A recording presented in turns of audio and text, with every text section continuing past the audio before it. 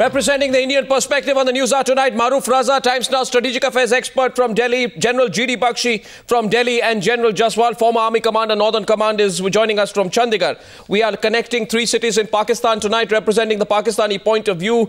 Uh, General Rashid Qureshi, former spokesperson to Musharraf, live from Islamabad, Admiral Javed Iqbal, defense analyst from Lahore, and Zafar Hilaly. My first question is to you. You're former Pakistani ambassador to the United States, and you are in Karachi this evening. Now, Zafar Hilaly, you you know, this is a classic military ambush. This is not a terrorist attack at all. And it would do Pakistan a lot of good that instead of embarrassing yourself by risking exposure later, as has happened in the case of Kargil, that you admit that you did carry out this intrusion and willingly try and interrupt the peace process, which you yourself seemed enthusiastic about till a few weeks back.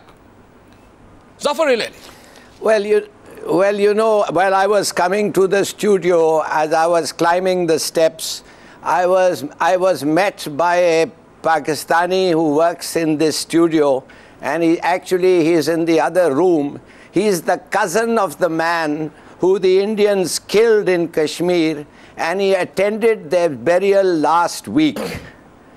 We did not make such a song and dance about it as you do but he was, he is here. If you like, you can ask him.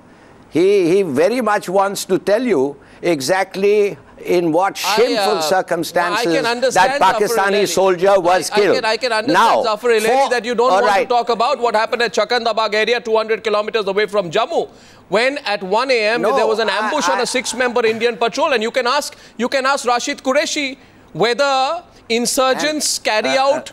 Ambushes on army patrol routes or whether terrorists carry it out. Rashid Qureshi will himself well, tell you people, that this is an your, army operation. Your people, your people have themselves said that there were terrorists involved.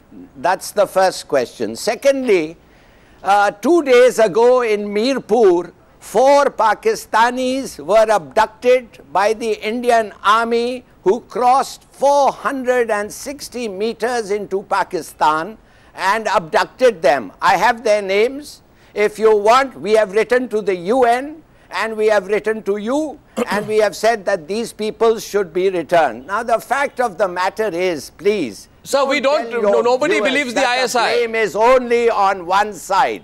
Now, my point is uh. this these incidents will occur and continue to occur as long as you in Kashmir go You know, don't go down that beaten path. Don't go down that beaten path, Zafar Hilaly. Don't go down that beaten path. I'll get Maroof Raza into the debate because I think that Nawaz Sharif, your Prime Minister, unless the Prime Minister is not of any relevance and unless Pakistan has become a banana republic, uh, peace with India was one of the themes of Nawaz Sharif's election campaign, wasn't it? And since he has come to power, Maroof, there have been 57. 57 such incidents of ceasefire violations this year alone. And this is the fifth major violation in less than a month, Maroof. Arnab, uh, whatever evidence Mr. Hilaly wishes to put across to us, we can always put across counter evidence and perhaps much more alarming uh, counter evidence. But the point to understand is the following. Firstly, in the case of Pakistan, since the days of General Zia, when he decided to bleed India by a thousand cuts, primarily in Kashmir and elsewhere, there has been a very, very thin line, if at all, between the operations of the army and that of the jihadis. It's a known fact that the jihadis in Pakistan use the army bases as launch pads and are often supported by army units in their efforts to enter into Indian territory. This latest ambush is a classic military ambush, and ambushes are normally not carried out by terrorists and jihadis because they specialize in hit and run operations or suicidal attacks. They don't wait and wait to hit out a few soldiers and announce their arrival. So, classically, it's been a case of a military operation.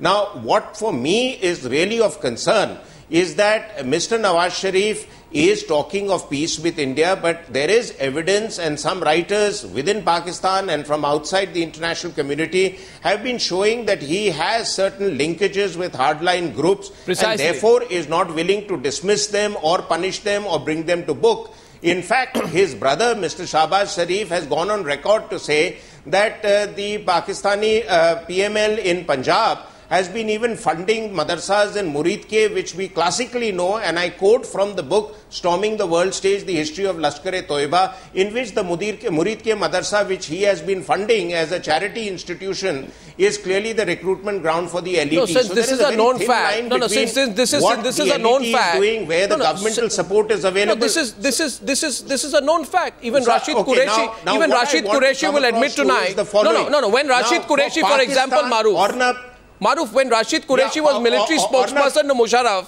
he I- never admitted. The big question for me is the big question. he okay. Go ahead with your question. I'll come after that. Uh, uh, what I want to say is that there are two things. One is that in the case of Pakistan Army, there has been a long history of the army masquerading as uh, an irregular force from the days of General Akbar Khan in the 47-48 operation. Gohar Ayub Khan's been on record to say Operation Gibraltar, 5,000 irregulars were launched by General Ayub Khan along with the army. That's a known Musharraf's fact. time, it happened in Kargil. That's a known fact, The but point it's- at issue to understand is that the army does operate with irregulars in Pakistan. Irregulars don't wear Pakistan army uniforms. As our defense minister has said, there were people in Pakistan army uniform, which clearly Which- defines exactly. me So we know that. No, no, so we- so we know that and everyone in ambush. Pakistan now, the big that. question is No, no. that is the big question is is Okay, now the big question is is Pakistan wanting to lose this window to get a peace course they do. arrangement with India? Of course or a few days down the line, India would be so big strategically that it will have I'll, no I'll now give the floor. Kind of I'll, I'll give the I'll give the floor to General. Continue to I now, Maroof, I'll have to interrupt you there to let the other Pakistani speaker in, and I give the floor to General Rashid Qureshi. And General Rashid Qureshi, you know, you are you are a veteran of Kargil, and you know that uh, even Musharraf now, you know, who you worked under. Has admitted Kargil and he's acknowledged Kargil and he's in fact gloating about Kargil. And Chaudhry Nisar Khan, Nisar Ali Khan told reporters that more, to, more than 500 Pakistani soldiers were killed in Kargil and you would even disowned their bodies at that point of time. This strategy that you are adopting has already been seen through by us and been seen through by the entire world. The entire world has seen through this strategy, and I, I, I don't want to push the point, but I agree with Ramaruf that 1947 48 you denied, you know the facts. In 65 you denied, you know the facts. The beheading you denied, you know the facts. Kargil you denied, you know the facts. General Rashid Qureshi, why are you doing it again and again? What is your motive? Pranam. Uh, whenever I listen to you, uh, it just makes me laugh uh, that uh, you come to a discussion with a fixed issue in mind, Right. which you want to impose on your listeners, and you want to prove in some way or the other Yes. that Pakistan and the Pakistan army is responsible for everything that happens, every wrong that happens. No, so on you are admitting that Kargil was what a wrong. You forget, what you are you- admitting what that you- Kargil was a wrong by saying that. Qureshi, General No, you are admitting to Kargil was a wrong. Hold on, General hold on, hold on. just a quick, Your just a problem quick is- interruption. Your is problem the, is, is the Pakistan, problem Arnab, is, is the Pakistan army, is the Pakistan army so incompetent that is the Pakistan army so incompetent? There is no point in a discussion. Okay, let him complete. Let him complete. Let him complete. Go ahead. Yeah, let me first. Sir, just a small what- No, let him complete, Maroof. You, No, no, you I want to laugh. You want to laugh time- at Arnab's assertion, but is is the Pakistan army is the Pakistan army so incompetent that jihadis are walking past their posts without their knowledge? if you are going to continue to speak while I am speaking, nobody will hear you. No, he's nobody will hear me. It's pointless then carrying out a discussion when you can't stop speaking and you can't uh, in- listen to a point of view In the that doesn't agree with your opinions. No, no, in the, the- problem is that when Zafar Hilaly Saab was speaking, No, I was just asking and, another added uh, question. Arnab, both of you were tr- interrupting him and did not allow him to complete his argument. Then you ask a No, question of no, me by no, quoting time all. and again, No, by quoting time and again, and then before I can st- start speaking, now Maroof and you keep interrupting. So there is no point in a discussion if this is the attitude that we are going to have. Well, I, I, uh, I, I just want to say one thing to you, sir. Okay, go ahead, One, one second, one second, one second. I, I think it is Musharraf who said, and I quote, after he returned to Pakistan in May 2013, that I am proud of the Kargil operation. when he did not have the guts to accept even the bodies of his own soldiers. Why is he saying in May 2013 that he's proud of the Kargil operation? And may I request you, Rashid Qureshi, to tonight on the news hour prove me, prove to me that Musharraf did not say that? You see, now your problem is you start a discussion on one point and without listening to arguments, you start talking about something in the past, which something in the, way, past. It's Kargil I'm way, talking about. Which now, no, no, no, no. Hold on, hold on here. Well, shall we talk about East Pakistan and how Indian army infiltrated into East Pakistan? Yes, I, I, we are happy to talk about the thunderous defeat that the Indian army carried out in East Pakistan, about the way in which we finished off and vanquished the Pakistani army in response to your attempts at oh, repressing oh, the people of Bangladesh. Fantastic. So we can talk about that and you also the generosity which we that showed by, you are, you are today, by, by, by giving away 90,000 POWs. That it was in yes. Now, Therefore, you are admitting today that it was interference by the Indian army and the Indian government which uh, caused Pakistan to split into two pieces. Wait, did Is you not see? admitting? Did you not see the Pakistani general signing? It was, did, no, no, one second, one second, one second, one second. It was a military operation in support of humanitarian issues. Absolutely, in which the Pakistani uh, forces had to uh, agree Fan to an abject surrender. Fantastic. But that's not the point. Fantastic. The po no, fantastic. well, yes. General Qureshi. That, that, that's not the point. General Qureshi. Anything that India General does Qureshi, come back to the point. point. General Qureshi. General on the border.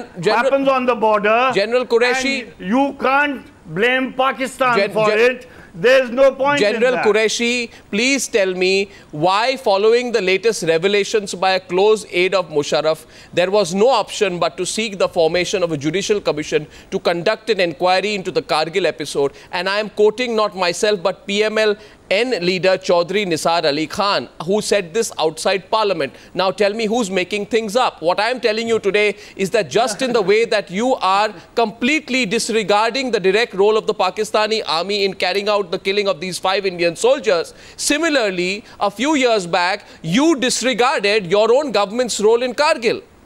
And we are asking you today why you are doing that. Who will believe you when you are doing that? Can you tell me why, General Qureshi? No, fantastic. If we go into Kargil operation, you will come to a conclusion, an impartial observer will come to a conclusion that the Indian army and what you keep doing within Kashmir as well as on our borders was the cause of this. I, now, if we start well, uh, discussing that, then we will not go further in what you wanted no, to we, discuss today, no, no. which was, which was according to you, uh, an ambush of an Indian patrol inside Indian lines. Sir, I am going back into history. I now need to get the other panelists Fantastic. in, but I want to tell, I want to get tell uh, Zafar Hilaly, you and Javed, uh, Javed Iqbal, as well as GD Bakshi and General Jaswal, that why am I going back into history? I am going back into history because in 1947, in 1947, when you sent well-armed raiders into Jammu and Kashmir, you denied your hand in the invasion and you reluctantly accepted their involvement only when the presence of the regular army personnel was detected in J&K by UN observers who were deployed there after the ceasefire agreement in 1948. So 1948 to 2013, 65 years. Fantastic. A same strategy, General Bakshi. The same strategy. Javed, Admiral Iqbal, you're getting restless, but you have to admit tonight, is the same strategy. Absolutely. You, you see, now tell me uh, if I would, I would like to point out aid, that it how has it is that 48 was not. Hello. What's your, your argument is so, you know, uh, illogical that if you yeah. could go to Bangladeshis for humanitarian aid, why Pakistani couldn't go to Kashmiris for humanitarian aid? And let me let me just explain that. Let me just explain that, Admiral. I'll answer that. There were 10 no, let, let billion Pakistani refugees. Uh, there were three. You know, you know, you know. There were 10 million Pakistan, East Pakistani refugees. Then Bangladeshi refugees pushed into India and imposed an intolerable burden upon us. There were 3 million oh, Bangladeshis killed. There were, 200,000 uh, Bangladeshis. Bangladeshis. Kindly hear me out, Admiral. Kindly hear me out. let me finish. You don't, no, you, you, you don't. There were don't 3 million Bangladeshis killed and 200,000 Bangladeshi women raped. All these people, 10 million refugees How many have, have been pushed Indian into army Indian raped soil. in Kashmir? You, How many Indian army have killed in oh, Kashmir? oh, forget How many it, forget girls it, they have forget it. There are a number of human rights the, organizations Why don't you give the there. statistics also?